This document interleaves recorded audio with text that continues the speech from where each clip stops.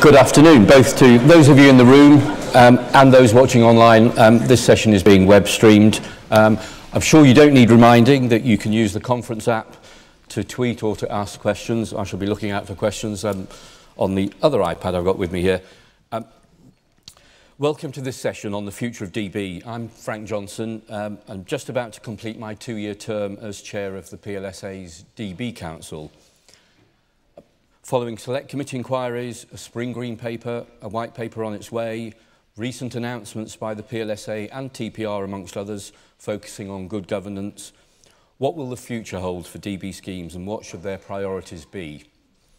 To help tackle these important questions, I'm delighted to be joined on stage by Charlotte Clark, Director, Private Pensions and Stewardship at the DWP, Chris Hogg, Chief Executive of the Royal Mail Pension Trustees and incoming Chair of the DB Council. Welcome, Chris. I'm glad you're taking over tomorrow. and Lesley, Chief Executive of the Pensions Regulator. They'll all give their views um, on this, following which we'll open up for a more general panel discussion and a Q&A session. Um, but to set the scene, um, we'll hear first from Lesley. Thank you.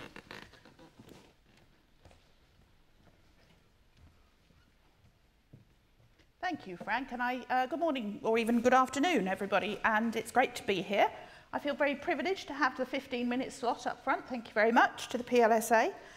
Um, I'm going to uh, talk a little bit about the landscape for DB pensions because whilst DC is now numerically the dominant form of provision, um, it's still DB that's making a lot of the headlines at the moment. Um, so we have for you a summary slide uh, painting a picture of the DB world as it is right now. And I will just talk a little bit about that, and I'll move on to the regulatory landscape that applies in that situation as well.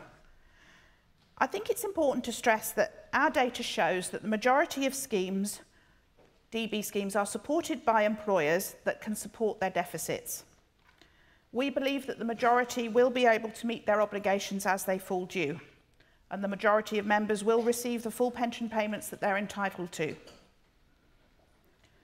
But it is true that many DB scheme deficits, however you measure it, have increased dramatically in recent years, mostly, of course, because of persistently low interest rates. And it is true that some employers struggle to make their deficit repair contributions, usually for reasons that have nothing to do with their pension schemes. Now the slide here shows you the estimated cash outflow from DB schemes over the next 60 odd years. The percentage of schemes open to new members, the percentage of memberships that are active, the total number of schemes and the total number of members who are on D in DB or, D or hybrid schemes. I'll give you just a moment to digest that. But what we're trying to do here is just to remind you the size and shape of the DB world. And as I've said, we do recognise that the situation is not easy for many of these schemes. The challenging economic conditions have been well documented and are likely to continue in some form.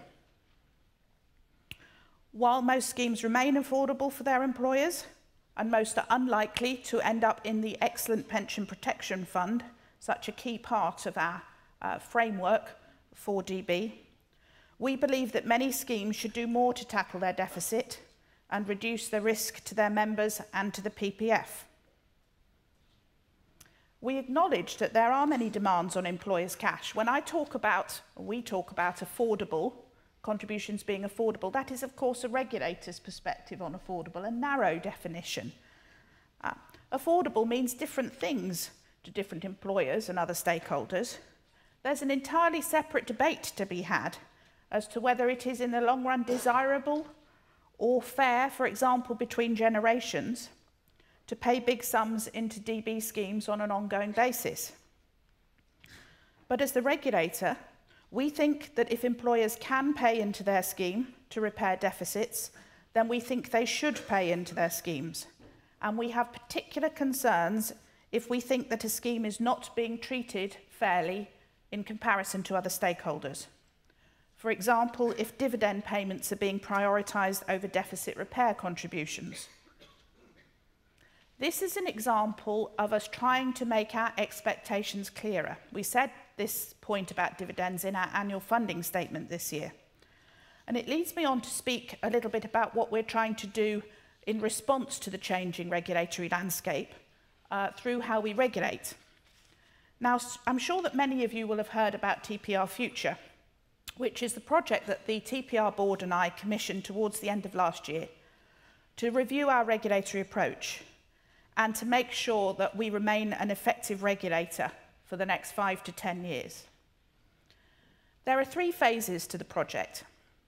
The first was an independent review, diagnosis, analysis, looking at the risks and opportunities that we face over the next 10 years.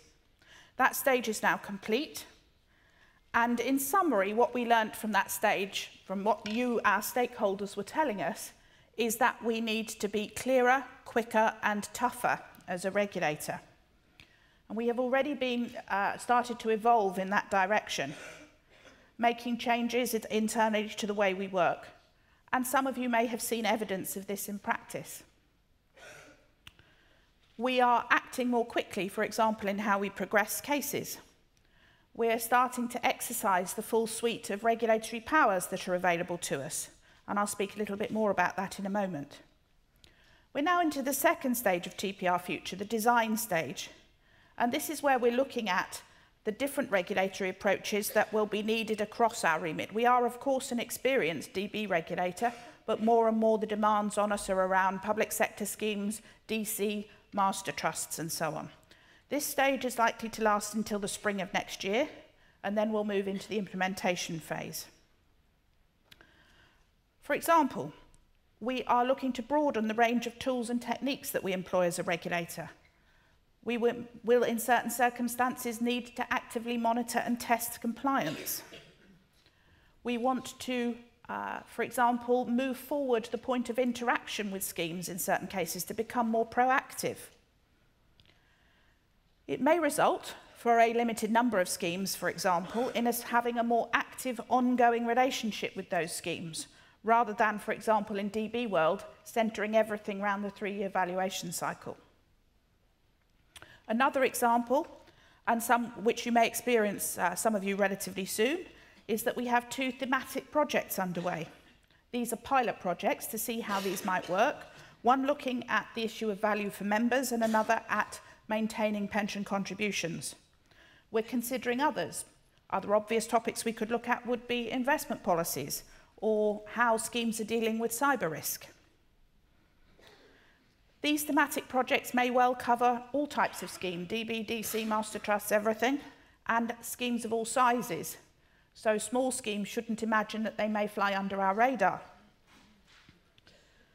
We're also looking at the best way to increase our regulatory activ activity across that whole range of schemes, both by sector and size, um, but also to target our communications better. We hear that bigger schemes and smaller schemes have different needs uh, from us, and we need to reflect that. I don't want to preempt the output of stage two too much, obviously, it's still in progress. Uh, we'll say more about it early next year.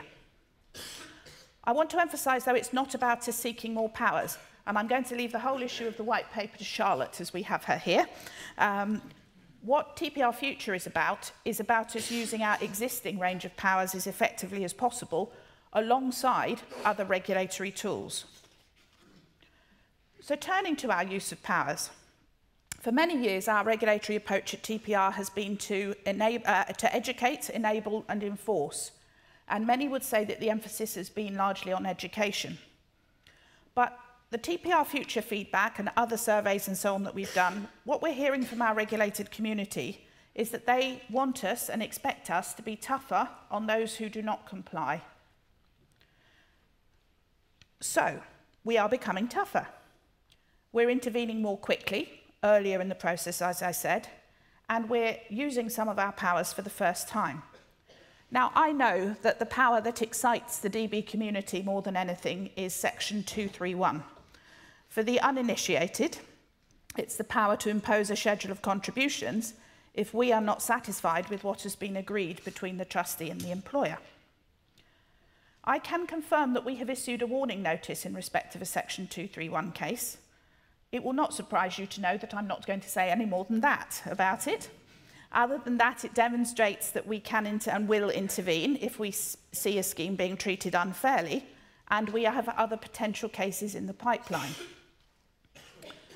Section 231 cases are complex, and the power must in the end be exercised by our determinations panel, a group of people separate from the investigation. So we have to persuade them that it is the right thing to do.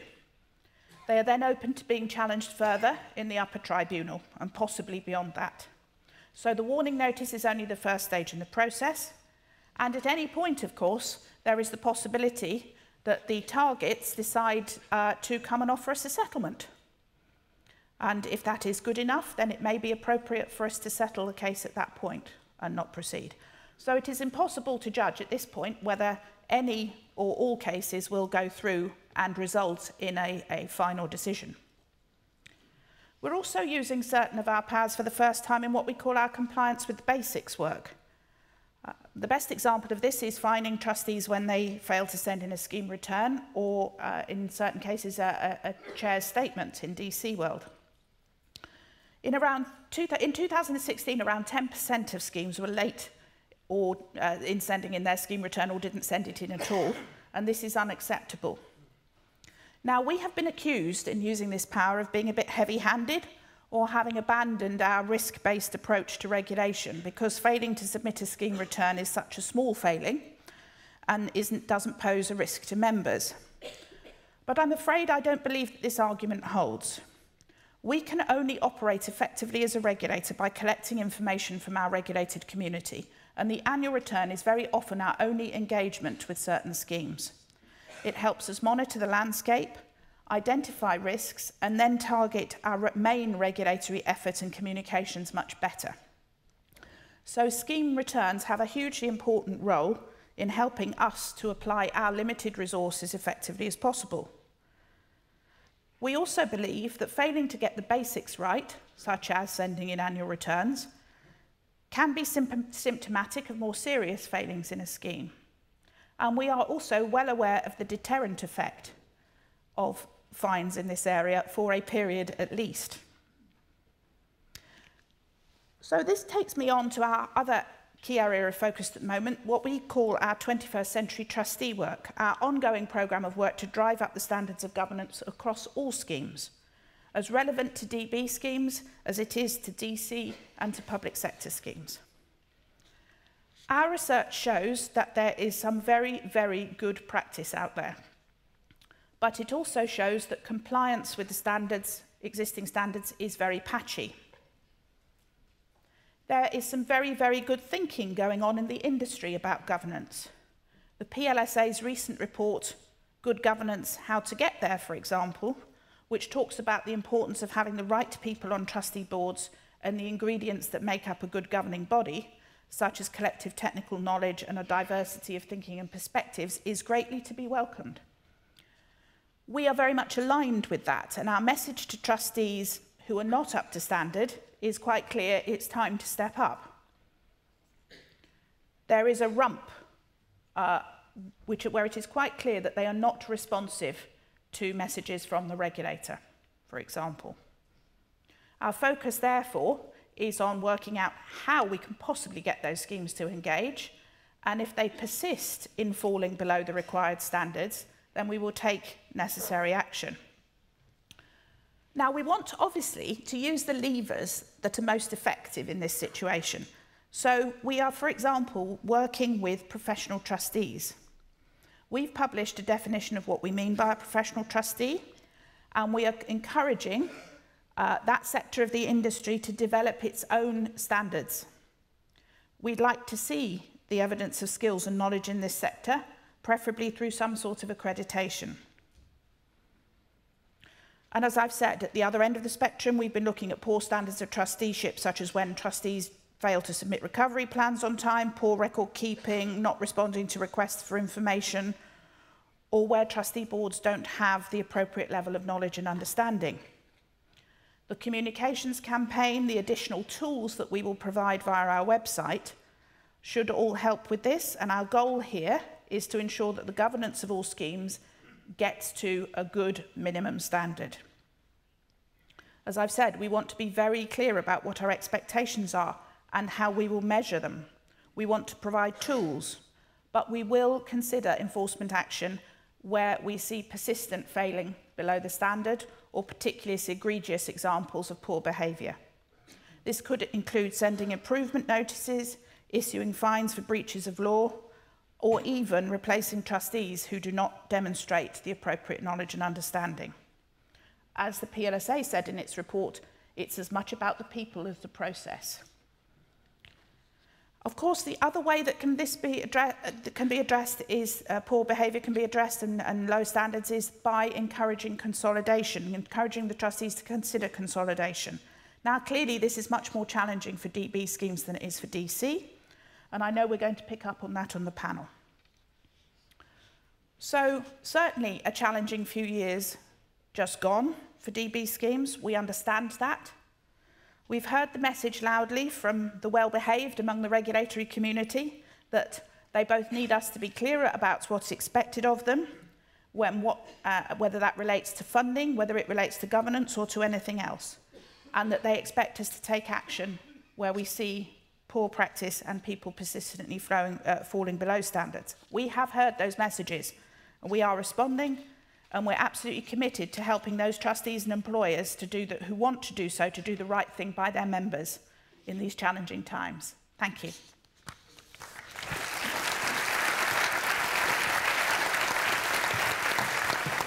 Lesley, thank you very much. Um, now I'd like to invite Charlotte to say a few words. Um, uh, thank you, and thanks to Lesley for uh, her kind of uh, very very broad canter through the DB uh, environment.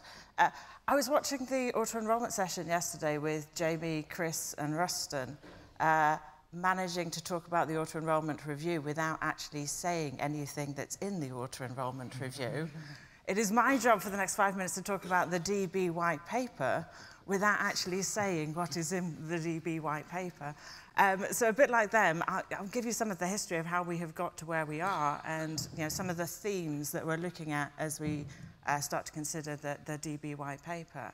Uh, I don't think it's any great surprise to anybody in this room that, that government hasn't been focusing a lot on defined benefits over the last 10 years.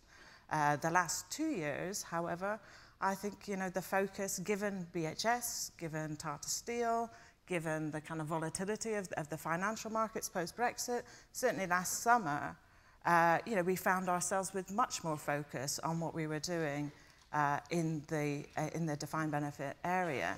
Uh, one, one of the joys of my job is I spend half of my time talking to people like you who know all about pensions. Uh, the other part of my job is talking to people who know absolutely nothing about pensions in other parts of government, uh, you know, to other commentators and trying to make them understand uh, where things are and why we do things the way we do things. Um, I think the, the focus that, that we've had on DB over the last two years, I, I actually think has been quite helpful. Of course, none of us would want to, to repeat some of the, the issues and some of the, uh, particularly for some of the members involved in, in what has happened in some of those schemes. But what has been quite helpful is bringing that focus back onto DB and really allowing us some time and energy to really look at the sector. And that was what we were trying to do with the green paper, which I know many people felt was too green. Uh, but I, listening to the discussion yesterday about really good pensions policy and the thinking about the Pensions Commission, we can all think of our favourite example of bad pensions policy when government has reacted to something. Uh, uh, when we think about good pensions policy, it is when we have taken our time to really think things through, to uh, consult as broadly as possible, and to try and bring as many people into the discussion as we possibly can, which is often very difficult because we're all kind of engaged in this debate. It's trying to engage other people who who will be affected by some of these changes uh, into that discussion and trying to get their voices in as well. Um, I'm, I'm going to assume most people have read the Green Paper. Um, well done. Um, uh, but I mean, in terms of the themes of that Green Paper, I mean, the overarching message, which I think, you know, uh, Lesley's slide uh, showed very well, is yes, this is a sector where there are some issues, but this is not a sector in crisis. This is not, there is not major problems throughout the whole of this sector. but there, are there things that we can do to try and improve the security, the sustainability of this sector as we move into rundown of this sector? You know, the, the assets in this sector do, uh, do start to kind of fall in the next 10 years or so. And so uh, a, we are entering a different stage for it. And so really taking the time to think about whether the structures that we have are right, uh, you know, I think this, this is a good time to do that. Uh, turning towards the white paper, the themes of the white paper pretty much follow the themes of the green paper in terms of policy areas. Um, some, there will be some discussion around members' benefits, so uh, with regards to indexation, uh, you know, do we do things to, uh, to change the way indexation is, is, uh, is across all schemes? Is there some sort of override that needs to come in? Uh, that area there will be uh, quite a lot of discussion around consolidation. I mean, I should at this time just thank the PLSA for all of their excellent work on consolidation. This is a fiendishly difficult area. And I know we are particularly grateful that they are doing a lot of the hard thinking because uh, it's quite nice to share some of that burden, but also to be challenged in terms of consolidation. If, if whether that is through super funds, whether that is a kind of private sector consolidation, or whether that is a more kind of quasi-public sector consolidation, is, is an amazingly complex kind of approach. We're looking at what's happening in the master trust area, and, and that's, I mean, that's relatively straightforward when you compared to what would have to happen for there to be significant consolidation in the DB area. Um, we're looking at things like the local authority uh, experience to see whether or not there are lessons that we can learn from that consolidation. Um, uh, I don't think when the white paper comes out will we say, fabulous, we've got an answer. I think what we'll be talking about is direction of travel. One of the great advantages at the moment of, of being in government is that you can't legislate. Uh, in some areas, that causes great problems. In other areas, that's a really good advantage. Uh, so I actually think that, that we have time to really think through the different consolidation models and really think through the, the pros and cons of different ways of consolidation and, and getting people to understand what it would actually require in order to start down that route and indeed whether or not it is the right route to, for us to go down. Uh, other areas in the white paper Uh, uh, Lesley mentioned the discussion around uh, the regulator's powers. Uh, I, I, I mean, there is a manifesto commitment on uh, broadening and widening the regulator's powers. So I would expect there to be changes in there. I think we would both agree that it's probably not the area that people focus on around, you know, the point of uh, corporate transactions, which is, is perhaps the area where, where the regulator probably needs more powers. But one of the things that the regulator has been doing is testing those powers because, you know, if we're going to give them broader powers, then we need to know that these are the things that, that, that will make the difference. We're, we're not in, in the, I hope we're not in the game of just trying to give people more powers in, in the hope that they may need them or uh, rather than actually making sure that these are the things that will be most effective in, in supporting Lesley in, uh, in her incredibly difficult job. Um, in terms of the, the, I won't talk about governance because um, that's the other area of, of the, the white paper because I know Chris is going to cover uh, some areas around governance changes. But just to give you an idea about timings, uh, people always ask about timing, so I thought I'll, I, I'll get in my answer first. My definition of winter is ends, ends at the end of February. There are several members of my team in the audience, so they may want to go back to their desks and start writing. Um, um, but I, you know, I'm hopeful that we will be able to get the white paper out uh, by the end of February. 2018. 2018. um, that said, as I say, you know, in terms of legislation, the chances, I think, of a pensions bill before 2020 look very slim to me. Uh, but, uh, so we do have some time. So the white paper will not meet, immediately lead to legislation, but more in terms of another stage of how do we develop this and how do we ensure that we we do make the right changes now. One of the things that I do kind of impress both on myself and, and on my team is I think this is probably our last chance to make changes to the, to the DB sector. Uh, you, you, when was, I can't remember the last time we did a white paper on defined benefits. I would guess it was probably more than 10 years ago. Uh, 10 years from now, uh, any white paper on defined benefits is going to be quite a different beast.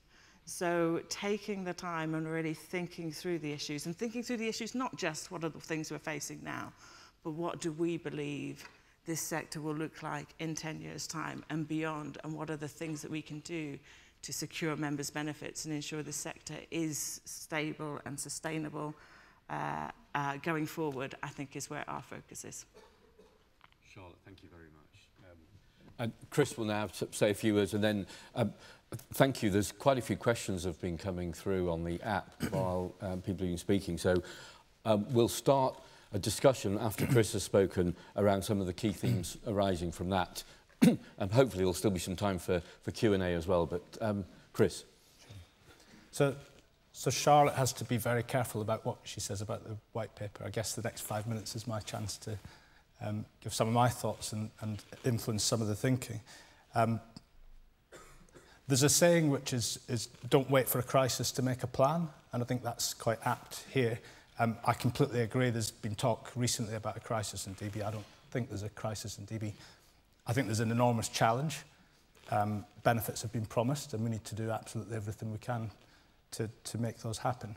Um, I think really pleased that the regulators um, got a real sense of continuous improvement about it recently. I think that really comes out in the TPR future piece. And, and that, that's a bit of a theme um, for me, something I think about a lot. And what I'm going to do for the next five minutes was actually pick up three points around the governance theme um, where I think uh, there should be some focus in, in the near future and where focus uh, hopefully leads to improvement in expected outcomes. Um, so the, just in summary, to start, the, the three points I'm going to talk about are, first of all, the need for some form of sharing um, or consolidation of some form. I think we need a plan. Secondly, around um, insurance market capacity and whether actually are we being realistic about how many schemes are going to be able to remove liabilities from the balance sheet. I think as an industry we need to understand that a bit better. And thirdly, uh, the important question of getting the right mixture of skills onto to trustee boards. And again, I think there needs to be a bit more active consideration of that. So if I take those in turn, firstly starting with the, the need for sharing, highly complex areas we've already talked about. I think if, if I just simplify it down into one sentence for me, it's that in a world of limited resource, I really fear that we're spreading ourselves way too thin. And, and absolutely, there are enormous challenges um, and barriers. There's also vested interests at play. Um, so just following logically from that fear that we're spreading resource thin, I think the answer has to be some form of, of sharing. Um, I think clearly we need to think it through carefully. There's a lot of complexity. At the same time, I think there's things that can be done that are, that are actually things that can probably be done relatively simply and, and quickly. So it's kind of getting the balance. Um, so I don't think a revolution, a, a sort of Big Bang style consolidation is likely, but more of a, an evolution over time. And so hopefully, I'm, I'm hoping that we're going to see that in the white paper. Um, I'm hoping that there's going to be a drive towards a plan of some form and, and a plan that we can measure against so that, you know, if we've got 6,000 schemes today, then where do we want to be in a certain amount of time? Enormous amount of views on, on how we might head in that direction. I think I'm going to pick out one thing, which is the chair's statement, which, which clearly seems to be getting some um, traction and a, a growing sense of consensus. This is something I think could probably be done fairly easily. Clearly it's happening in DC and seems to be having a posit positive effect there.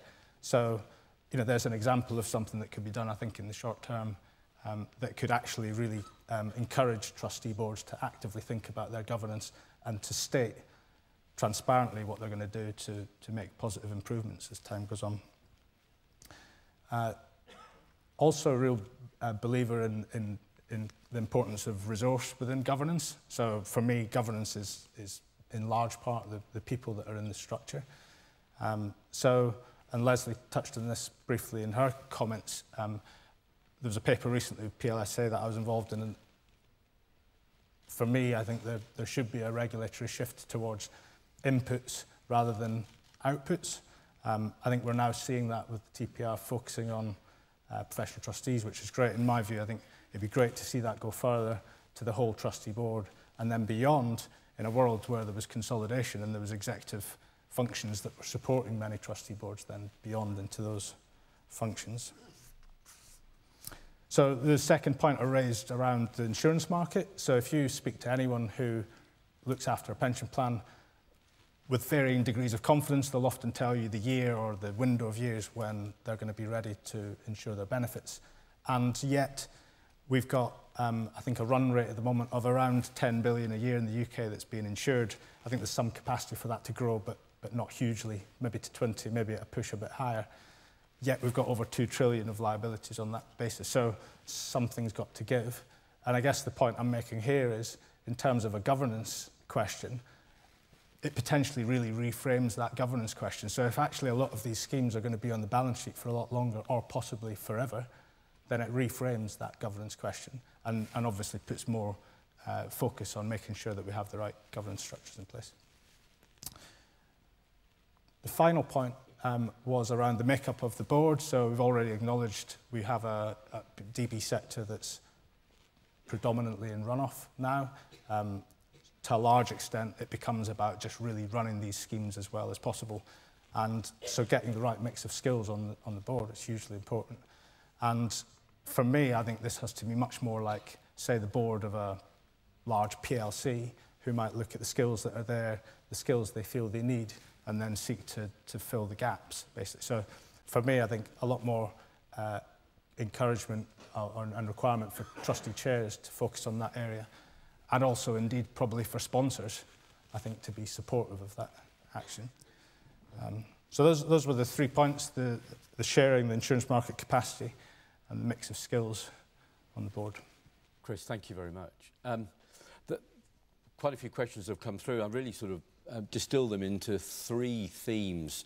Um, trustee governance and um, some of the initiatives that are being taken um, consolidation and various challenges around that. And the third area of questions were more specifically around the DB task force.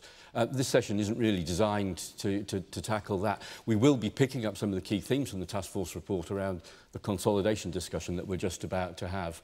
But I'm sure if, if people want to talk about the task force report or afterwards, um, we, we can arrange that. But I, I want to focus this session around the, the, the other areas.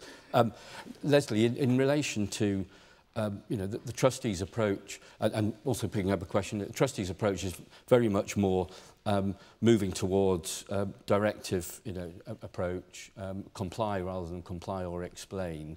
Um, how do you see that manifesting in terms of actions? And picking up a question from, from the audience, um, how does that relate to your assessment of trustee competence or incompetence? And have you ever removed trustees on grounds of competence or otherwise?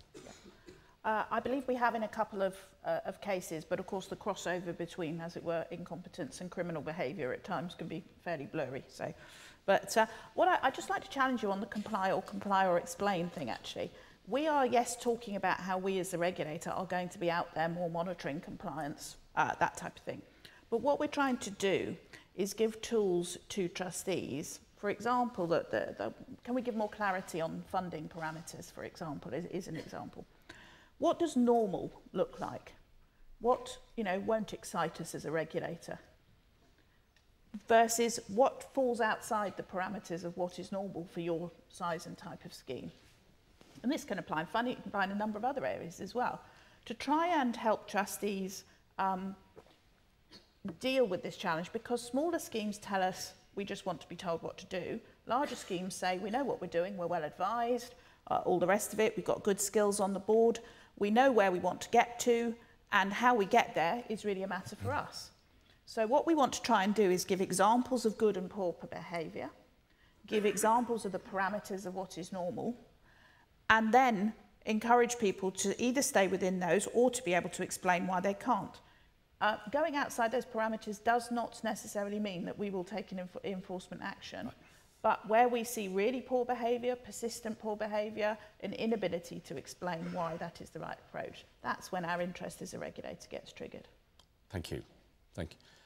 Um, I think picking up on some of the consolidation questions mm. that have come through, which really play to, I think, Charlotte's comments about the, the white paper and also Chris's comments. Um, there's a few things that just welcome panel views on. Um, Can DB consolidation be effective without the ability to harmonise benefits was one comment. Um, and and consolidation could incur great cost. Um, how many parties need to get involved with that? What's the likelihood of, of the net benefit sort of exceeding the cost? Um, and linked to that, um, how can we ensure better value for money for smaller schemes? Is consolidation the only way How feasible is consolidation? So I'm interested to just expand a bit on consolidation. Clearly it's going to feature, I mean it already has featured quite a lot um, early this year, but um, so... To start, uh, I, I think the, uh, whoever made the point about um, uh, the benefits of consolidation uh, without harmonisation of benefits uh, it, you know, it's a very good point. You can go so far with regards to consolidation uh, and get, get a certain amount of benefits. And there's, there's very, there are some barriers to, to that happening now, but, but realistically, there aren't that many barriers to that happening in the DB world at the moment. Uh, but but in order to really make that big jump forward, then you would have re you would have to consider whether or not harmonisation of benefits was the right way forward. I mean, that's always really difficult because harmonisation of benefits on an actuarial basis generally means that somebody will lose. You know, you're, you're trying to do it on a, on, a, on a scheme basis or bringing people into schemes. That's, there's a certain rough justice that happens when that, uh, when that occurs. Uh, and if that is the approach that we end up taking, it's, we have to face up to that, that that's, that that's one of the, the big questions is, you know, for the kind of greater good and the greater security, some people may end up losing some of the aspects of benefits that they have acquired. That, that's difficult. It's difficult legally as well.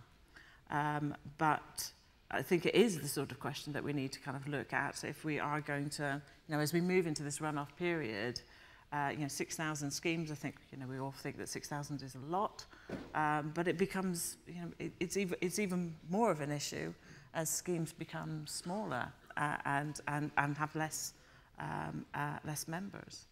Uh, so um, forgotten what the second point was around. Um, whether small schemes, whether consolidation is the only route for small schemes. Uh.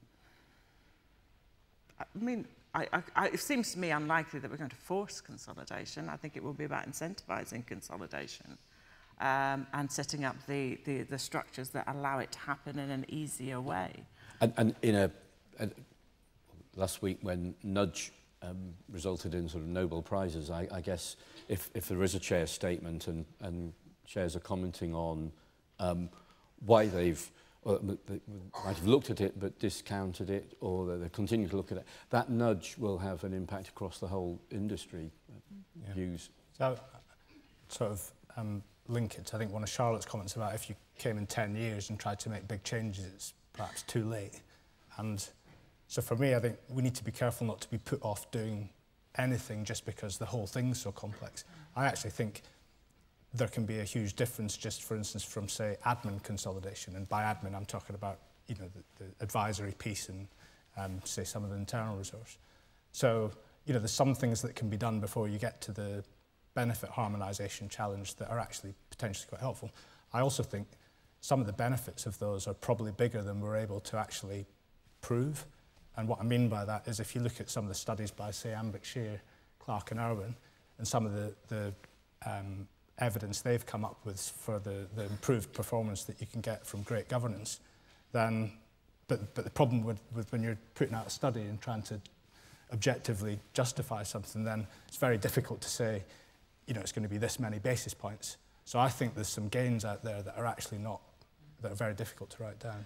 I think, think your point's a very good one. One of the issues, I think, in the consolidation discussion is the benefits of consolidation are very difficult to articulate and enumerate.